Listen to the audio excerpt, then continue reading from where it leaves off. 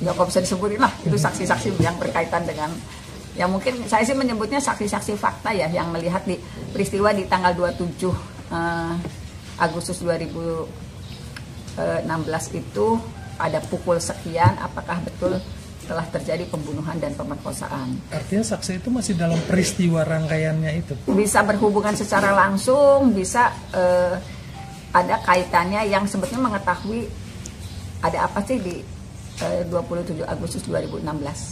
Seluruhnya dari Cirebon ya. Selur, ya mungkin seluruhnya dari Cirebon. Ibu meyakinkan bahwa saksi ini betul-betul otentik sekali dan bisa dipertanggungjawabkan. Ya, betul-betul otentik karena mungkin eh, saya sih meyakini itu eh, asli faktual, kemudian juga tidak memiliki beban gitu. Jadi artinya apa yang akan disampaikan itu memang betul-betul apa yang terjadi, apa yang dia rasakan, apa yang dia alami. Hmm, Dan tidak hanya sekedar pengakuan Bu, informasi apakah si saksi itu punya fakta pendukung, Bukti, bukti fisik. Kalau bukti fisik mungkin eh, karena peristiwanya sudah lama ya, sudah lama. Tetapi eh, pengakuan dan keyakinan dia kemudian kalau saya lihat kan, eh, saya dengar, saya lihat, saya juga komunikasi apa yang disampaikan. Eh, walaupun saya belum memperlihatkan buktinya, ternyata betul gitu kan yang artinya ada beberapa ketika Korelasi. saya menanyakan, saya juga sudah tahu nih ini jawabannya benar nggak dan itu betul. Jadi oh benar ternyata terkonfirmasi gitu karena saya juga kan eh, menanyakan juga. Bu, terakhir, makin ke sini kelihatan tidak Bu benang merah dan terus makin meyakinkan bahwa memang apa yang Ibu perjuangkan dari dulu sampai sekarang itu betul-betul menemukan jalannya.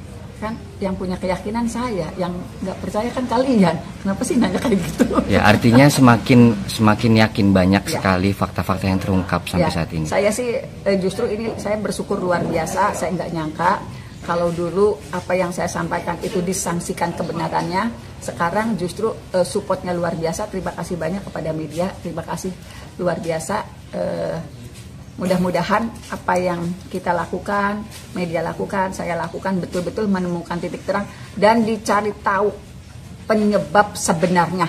Ya sehingga bisa membebaskan delapan terpidana.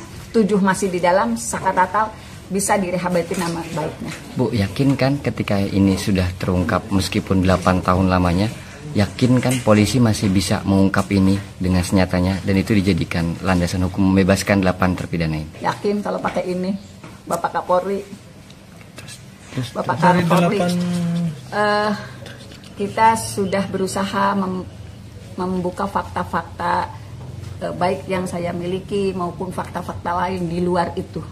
Bapak Kapolri ada tujuh terpidana yang mendapat ancaman hukuman seumur hidup dan sudah 8 tahun mendekam.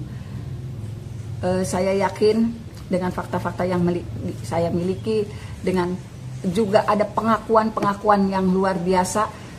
Tujuh terpidana ini tidak pernah melakukan kesalahan yang dituduhkan termasuk sakatatal mohon bantuan Bapak Kapolri untuk membuka seterang-terangnya peristiwa ini. Saya juga siap menghadirkan seluruh berkas yang saya miliki. Saya siap menghadirkan eh, tidak saja di berkas ini tetapi ada eh, juga berkas-berkas lain yang saya miliki untuk diuji apakah yang saya sampaikan itu betul atau tidak. Download Tribun X sekarang. Menghadirkan lokal menjadi Indonesia.